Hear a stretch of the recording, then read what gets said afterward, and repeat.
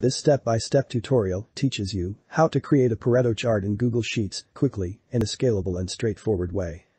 In this Pareto chart tutorial, as an example, we will build a Pareto chart in Google Sheets to highlight which products, among a range of products, generate most of the complaints. Our initial data is located in columns A and B of a sheet called raw data. We need to prepare and clean this raw data in a separate sheet that we call data preparation. To do so, we first build a three-column dataset. One column describes the causes. Here the product referenced by a number like product 1, product 2, product 3, etc. One column describes their absolute effect with a numerical value. Here the number of complaints about each product. Finally, another column describes the relative effect of each cause with a percentage value. Here the percent of the total complaints generated by one product. This dataset is generated automatically by a formula. The formula is located in cell B5 of the data preparation sheet. What does this formula do? It extracts, consolidates, and sorts the raw data the right way. In particular, it ensures that the data is sorted by effect ascending order. It also tailors the columns names using label. Feel free to change it your way in the formula to adjust the columns names to the context.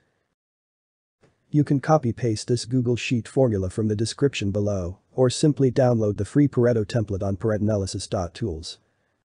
We now need to add a fourth column to the existing dataset, the cumulative percent column. Like the first three columns, this additional column is built automatically via formula. You can copy-paste this formula from the description below. What does this formula do? Like the first formula, it generates the rights numbers and adjusts automatically to the size of your raw data.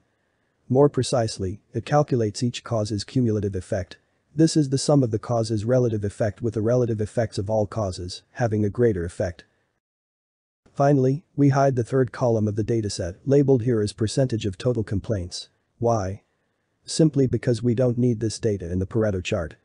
Now, it's time to select the three-column dataset to insert our Pareto chart in our Google Sheet. In the menu, select Insert, then Chart. The initial Pareto chart we get needs a bit of formatting. In the chart editor, under the right tab Customize, select Cumulative Percent under Series. Then select Right Axis under Axis. And that's it. Your Pareto chart is now completed.